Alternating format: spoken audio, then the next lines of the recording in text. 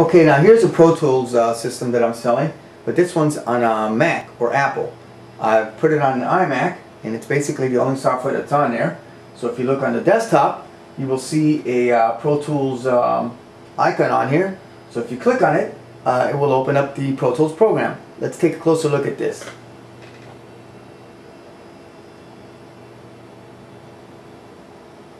Okay, so now you're zoomed into the screen here, and you will see a Pro Tools icon on the screen, so just click on it.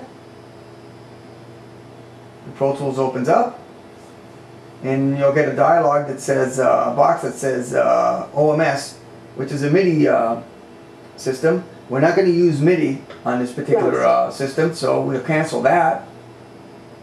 And now you're into Pro Tools. So we'll make a new session.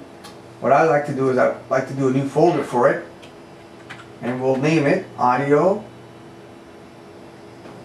Okay.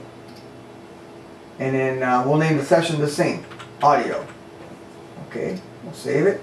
We'll make it 16-bit uh, which is the, like a CD on the bit depth and we'll hit OK and now the windows come up and there you are so now I want to record something it's as simple as this hit the file button new track. We're creating one track. You can leave everything default default and just hit create.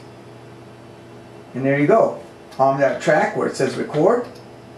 And then on the uh, transport hit the record button as well. It'll turn red. Then all you have to do is uh, press play. And you can start recording.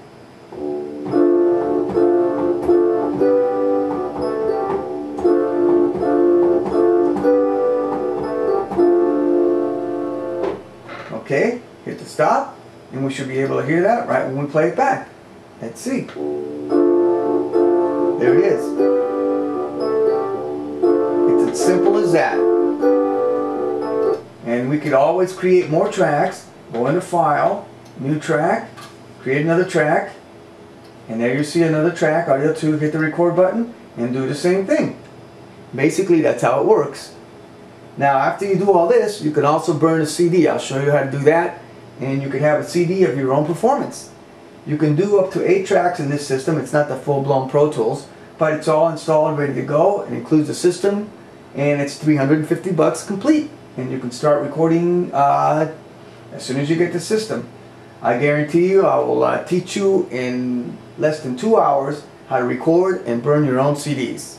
Alright, like I said, 350 bucks complete on an iMac uh, on the Apple uh, format. And I've been getting a lot of requests for that, so uh, that's why I decided to start doing this on this uh, format.